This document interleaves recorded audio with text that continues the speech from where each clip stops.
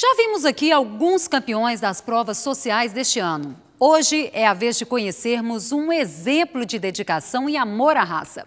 O garoto de apenas 13 anos foi o campeão Esporinha de Ouro. E quem conta pra gente essa história é a Manuela Drummond.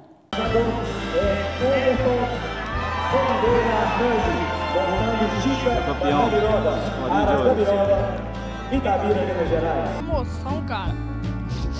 Nossa treina muito em casa para chegar aqui e fazer isso é muito bom.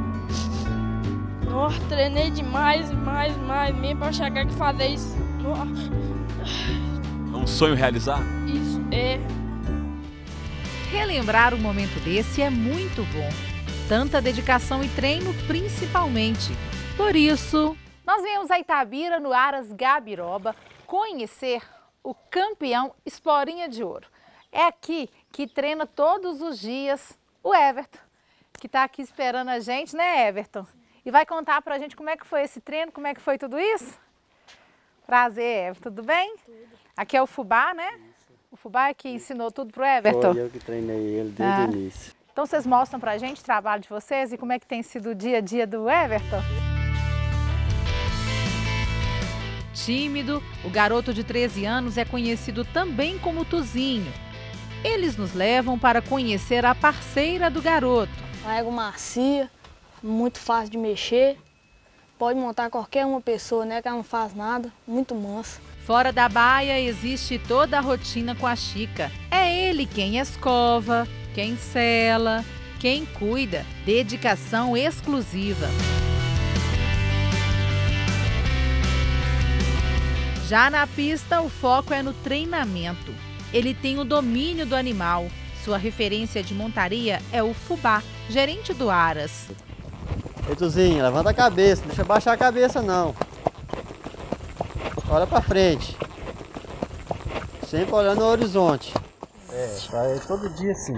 Ele chega, ele já vem, pega o animal, já vai, vai mexer, já vou explicando para ele, eu te falei. E eu vou passando para ele já os comandos já de postura dele, que está sempre corrigindo. E do lado de fora, o pai fica todo orgulhoso de ver que o filho está no caminho certo. A função dele no Aras é tratar de todos os animais. E de vez em quando, o Tuzinho ajuda. É uma satisfação muito grande, né? Ver ele ajudando a gente se endeudecido e aprendendo a fazer o que o pai faz e que ele um dia vai ajudar a gente aí. Terminados os trabalhos, Tuzinho não se acanha e vai logo voltando à rotina. Depois do treino, é hora de banho. Em seguida, pegamos a estrada do Aras rumo à casa do garoto. Chegamos aqui na casa do Tuzinho, que fica pertinho do Aras, né? E a mãe dele está aqui com a gente, veio receber a gente, né? A Luiz Ângela, não é isso mesmo? Sim, meu nome é Luiz Ângela, sou mãe do Everton, conhecido como Tuzinho. Ele é um menino muito dá muito orgulho pra gente, né? Como filho, como amigo de todo mundo.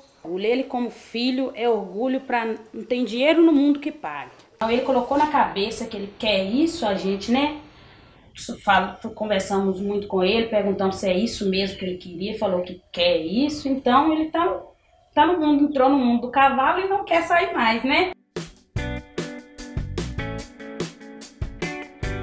Esse daqui eu ganhei lá em, lá no, lá em, lá em Poema, lá no lado do Velho Oeste. Essa daqui eu ganhei lá no Velho Oeste também.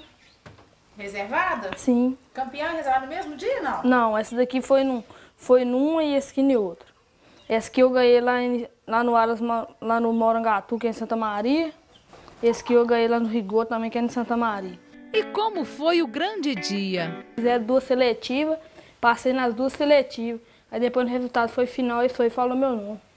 E nessa seletiva aí não te deu dor de barriga, não, nada não. disso, né? Fiquei só pensando o que quer dizer falar. É muito orgulho para mim, que eu treinei muito, aí eu cheguei lá e ganhei. Ficamos sabendo que ele não tinha perneira para o dia da prova na gameleira e que o criador teria comprado para ele. Então, a associação resolveu presenteá-lo com mais uma perneira. Essa é oficial. Deu certo? Deu. Obrigado. E ele manda um recado para a turminha. Todos, se quiserem ter os mesmos sonhos que eu tenho, É só treinar que, eu, que um dia consegue. É, a gente ter ele como filho né, já é uma, uma grande coisa, né? E ter um filho campeão nacionais, aí é mais gratificante ainda pra gente, né? Quando eu chego na escola, eu tenho alguns amigos que os pais dele criam cavalo, aí eu pego as fotos da nacional dele e coloco no meu celular e mostro pra eles, eles, eles tudo dá parabéns. Coisa boa. E aí é orgulho mesmo. Aí você quer seguir os passos dele? Sim. Já tá andando a cavalo. Eu vou começar amanhã. um orgulho para toda a família.